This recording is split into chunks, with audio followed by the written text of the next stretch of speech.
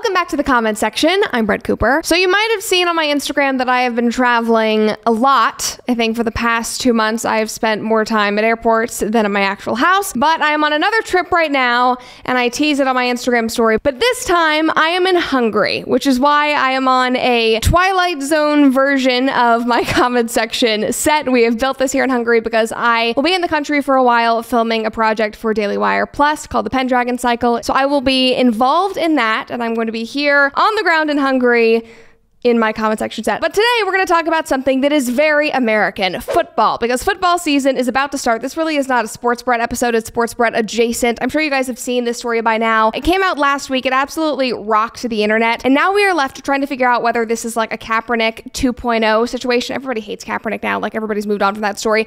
Boo this man! Or whether this is actually the case of some manipulative, money hungry parents. Obviously, we are talking about the blind side. Before we get into this, though, make sure that you like this video, subscribe to the channel if you have not already, and ring that notification bell so that you never miss a comment section or off the clock episode. Alrighty, so I Love the movie The Blind Side. I have seen it more times than I could count. It is totally up my alley, and you guys will probably make fun of me for that, but it is like an emotional family drama, coming of age, makes me cry on my couch with my dogs. I absolutely love it, and I love anything and everything that Sandra Bullock does. It's just an amazing film, and it's made even more incredible by the fact that the story is true, or so we thought. Now, last week, over 15 years after the original true story took place and the movie came out, the real life Michael Oher, now a retired NFL player, player wants to share his truth with the world. So he filed a petition in the state of Tennessee claiming that the famous Tuohy family that he was adopted by in the movie, or allegedly adopted by in the movie, never adopted him. He said that they actually tricked him into signing papers agreeing to a conservatorship so that they could control him, exploit him, and get his money. And now, 15 years later, he wants to end the conservatorship because he just realized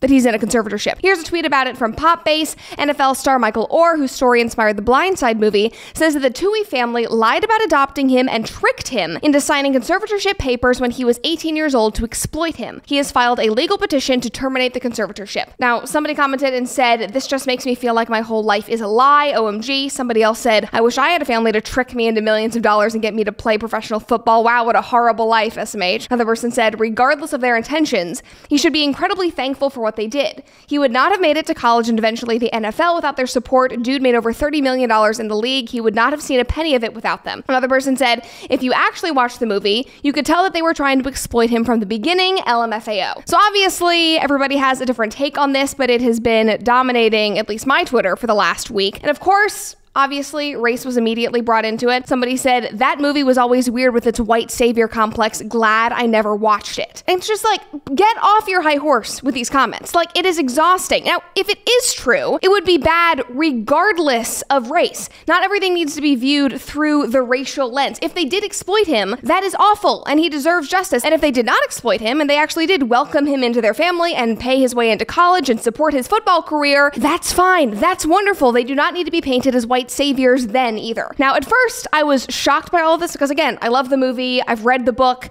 I actually was at the Bitcoin conference this summer and I met the author who wrote the Blind Side book. Again, I just, I love the story. So I was shocked by all of it, but I basically kept scrolling and didn't really pay attention to the details because I was on vacation last week. So obviously, I was spending time with my mom. But then I saw comments like this, and somebody said, Why would he speak out so long after his career? And of course, that got my attention because he's not in the NFL anymore. He's not really relevant anymore. So why is this suddenly coming out? The story that we know from the movie happened in 2004. Michael was 18 at the time, but now he is 37. He's moved on. He's retired from the NFL. So why now? Well, he and his team are alleging that he just learned about the conservatorship in February of this year, and that up until now, he had believed that he had been adopted and welcomed into the Tuohy family and that they had not exploited him or any of that, according to ESPN. They said the lie of Michael's adoption is one upon which the co conservators, Leanne Tuohy and Sean Tuohy have enriched themselves at the expense of their ward, the undersigned Michael Oher. Michael Oher discovered this lie to his chagrin and embarrassment in February of 2023 when he learned that the conservatorship to which he consented on the basis that doing so would make him a member of the Tuohy family, in fact provided him no familial relationship with the Tuohys. Now, whether or not that is even true or if he even knew what a conservatorship was when he signed, that is obviously a very different but an important discussion, just like taking care of your health is an important discussion. Now, living a healthy lifestyle can be challenging when you are always on the go. You need simple, manageable routines to make sure that you are getting the proper nutrition every single day, which is why I'm a huge fan of Balance of Nature. Balance of Nature fruits and veggies are a great way to make sure that you are getting essential nutritional ingredients every single day. Through Balance of Nature's cold vacuum process, the vitamins, minerals, phytonutrients of the fruits and vegetables are preserved so that you can get that vital nutrition in every single capsule. Now, Balance of Nature has been a proud Daily Wire sponsor for the last year or so, and as you guys know, we at the Daily Wire do not slow down. We are constantly busy, and I know that all of us appreciate how simple and manageable Balance of Nature makes our supplement routine. When you are disciplined enough to take care of your health, you reap all kinds of benefits. Make fruits and vegetables a part of your daily diet. Your body will thank you. Go to balanceofnature.com, use promo code Cooper for 35% off your first order as a preferred customer. Again, that's balanceofnature.com, promo code Cooper for 35% off your first preferred order. Now, back to the story. Obviously, Michael has known about a conservatorship to some degree for many years because in 2011, he called their situation, this family situation, a conservatorship in the memoir that he published himself. He wrote, Since I was already over the age of 18 and considered an adult by the state of Tennessee, Sean and Leigh Anne would be named as my legal conservators. And they explained to me that it pretty much basically means the exact same thing as adoptive parents, but that the laws were just written in a way that took my age into account. So he knew that a conservatorship existed. Maybe he didn't know what it meant at the time, and of course, that is a totally different and important conversation, but he knew that a conservatorship was in place. He's known about it to some degree for many, many years. I mean, I just want to know if he was unwillingly under a conservatorship, why didn't he say something earlier? He's a public figure. He was not under their thumb. I mean, when he was playing for the NFL and making millions, were they exploiting him then? I feel like that would be public knowledge if he was not getting any of that money and he could have easily said something and gotten out of it. Now, I guess you could argue that the Tuohy family could have lied about this and made it seem totally normal to Michael, you know, over the last 15 years. But I was thinking about it. When you're playing in the NFL,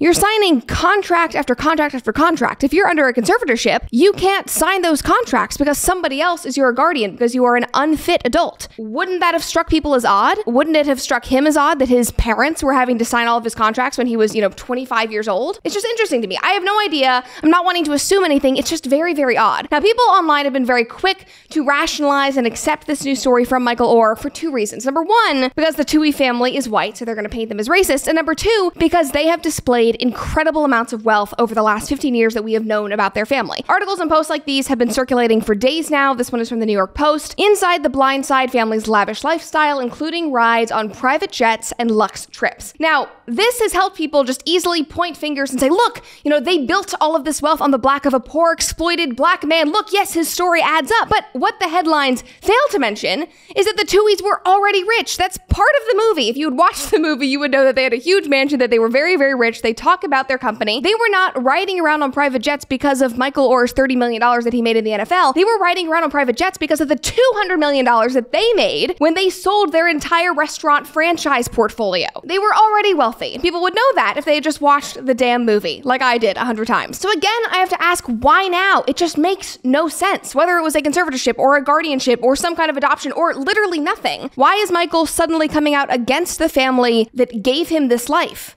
He would not have the career in the NFL that he had had without the Tuohy family. Why is he suddenly turning on them? Now, of course, I don't know the ins and outs of this family relationship. I do know that every family has skeletons in the closet. You guys know about mine. But I do know that Michael just had a new book released on August 8th of this year, and nobody knew about it until he filed this petition. The book is called When Your Back's Against the Wall Fame, Football, and Lessons Learned Through a Lifetime of Adversity. Well, Michael, the first thing that comes to mind after hearing about the story and reading all of this is that maybe you or your PR team was backed up against a wall and you saw an opportunity and you wanted to take it. And of course, I don't have evidence to back this up, but it's just an interesting turn of events. The sequence of events is very, very interesting. And of course, less than two weeks after all of this has happened, again, the book came out August 8th. This petition was filed on August 15th, I believe. Now his book tour is going crazy. People are lining up to talk to him. News articles are being written about him every single day. A man that was not relevant just a couple of weeks ago is now a huge headline, a major news story. So obviously, something is working. And the Tuohys are also working overtime to try to clear their own name. Sean Tuohy Jr., who was raised as Michael Oher's younger brother, immediately went on Barstool Radio to try and clear the air. He said that he would always love his brother Michael. He thinks of him as his brother, but that he believes that his parents will be vindicated when the financial records come out. His father, Sean Sr., spoke to the press and said that yes, a conservatorship was signed. He is happy to admit that, but because Michael was 18 and he wanted to join the family, that was the only legal way to do so.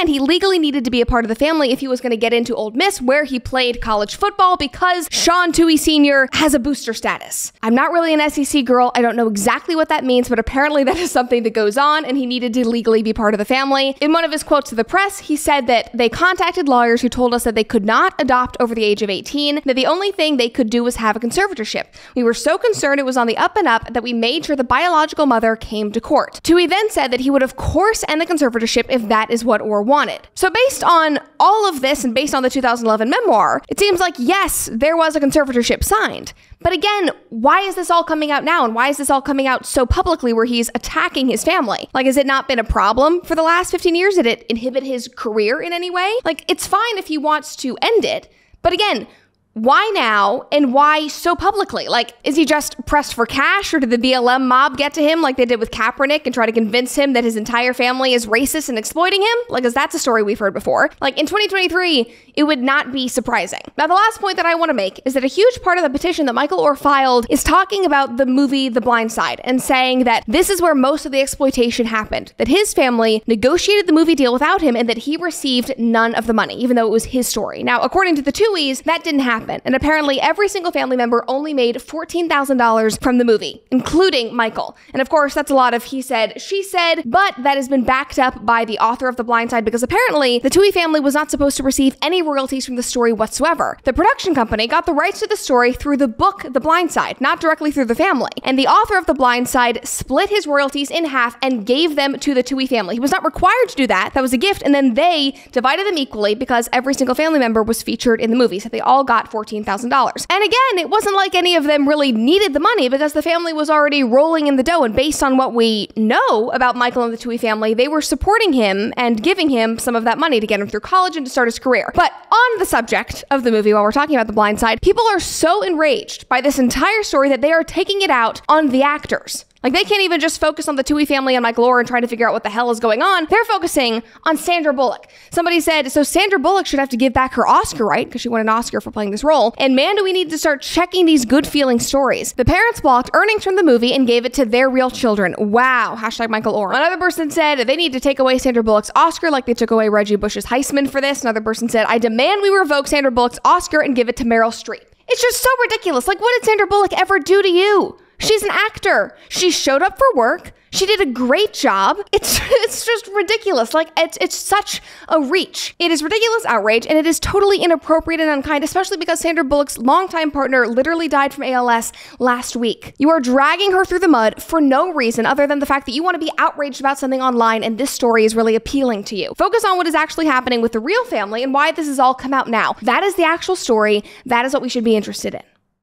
Thanks for watching this episode of the comment section. I hope you enjoyed it and that you maybe even learned something. If you've not already, like this video, subscribe to this channel, and of course, ring that notification bell so that you never miss an episode.